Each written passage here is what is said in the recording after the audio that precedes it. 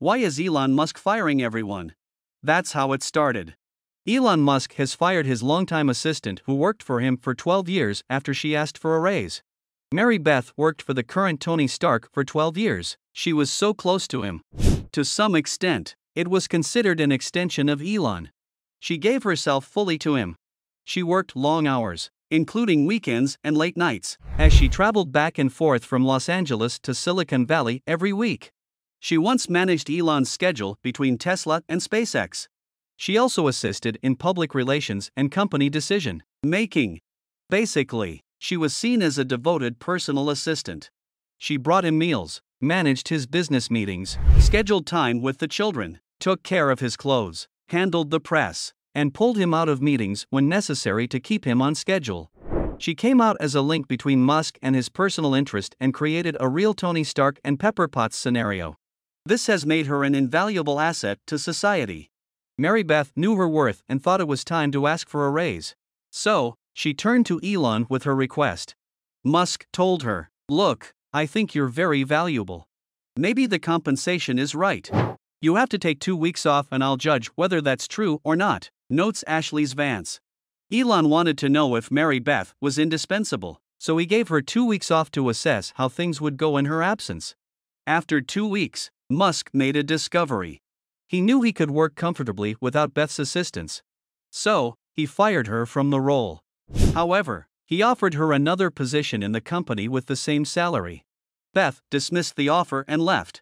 The experience triggered Musk's reflections on the number of employees he does and doesn't need. If Beth was so close to him and was overly considered an important part of the company, what about the other employees who are not conspicuous? Even though he was modest, he knew he could squeeze in a lot more. Its businesses are critical and every optimization matters. After the incident, Musk started thinning his workers. It didn't matter how long you had worked for him. If you were dispensable, you received a dismissal letter. The decision sent shockwaves throughout the industry. Musk stressed that the firings were necessary in order to allow the company to become what it should be, which is a company that operates at the extreme frontiers of technology. In March of the same year, the Observer reported Tesla laid off a third of its global recruiting team, which equates to around 150 individuals. Some people have speculated that this willingness to fire employees is a sign that Musk is less concerned with employee happiness and more concerned with the progress of his companies. Musk justified the mass layoffs by pointing to the need to cut costs and become profitable. The decision was also influenced by the fact that most of the people who were fired were paid. I'd rather not have to fire anybody, Musk said. But if we didn't do that, we just have a lot of very expensive employees doing nothing. His foresight to fire people paid off. In January 2021, Tesla recorded its first profitable year. They accumulated a profit of $721 million in 2020, which contrasted with a loss of $862 million in 2019. Such a decision is a clear reminder that entrepreneurship is more than just an entrepreneurial spirit. It's also about building high, performing companies that can survive for the long term. Another lesson we learn from this is that we should strive to be indispensable. Otherwise, our value may not be recognized. In such a case, we can easily be terminated. Elon Musk on Friday sacked almost 50% of Twitter's workforce globally. As per reports from multiple news publications, it has been confirmed that employees across various countries were asked to leave. Most of the staff from India have also been asked to leave. After this, Elon Musk via Twitter confirmed the sacking of almost 50% of his employees.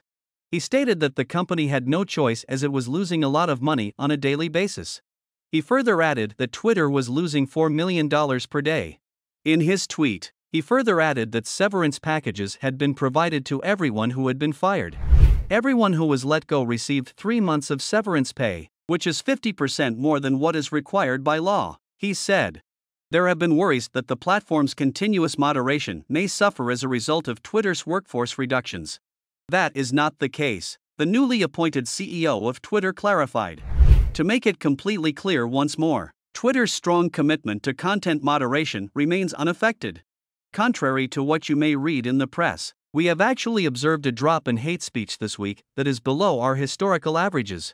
Prior to getting sacked, the employees got an unsigned memo which informed them about the layoffs. It read as follows Given the nature of our distributed workforce and our desire to inform impacted individuals as quickly as possible, communications for this process will take place via email. By 9 a.m. Pacific Standard Time on Friday, November 4th, everyone will receive an individual email with the subject line Your role at Twitter. Please check your email, including your spam folder.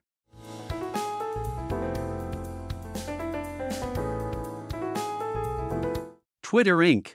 After laying off roughly half of the company on Friday following Elon Musk's $44 billion acquisition, it is now reaching out to dozens of employees who lost their jobs and asking them to return. Some of those being asked to return were released by mistake, according to two people familiar with the moves. Others were let go before management realized their work and experience might be necessary to build the new features Musk envisions. The people said, asking not to be identified, discussing private information. Twitter cut nearly 3 700 people via email this week as a way to cut costs following Musk's acquisition, which closed in late October. Many employees learned they were out of a job after their access to company wide systems such as email and unused space was suddenly suspended. Requests for the return of employees show how rushed and chaotic the process was. Twitter has nearly 3 700 employees left, according to people familiar with the matter. Musk is pushing those who remain at the company to move quickly on delivering new features, and in some cases, employees have even slept in the office to meet new deadlines. Over the weekend, Twitter launched a new Twitter Blue subscription plan that offers a verification checkmark for every user who pays $8 a month. The company also said it will launch other features soon, including half off ads, the ability to post longer videos, and get priority ranking in replies, mentions, and searches. Elon Musk has finalized his deal to buy Twitter for $44 billion. A source familiar with the deal told CNN on Thursday, putting the world's richest man in charge of one of the world's most influential social media platforms.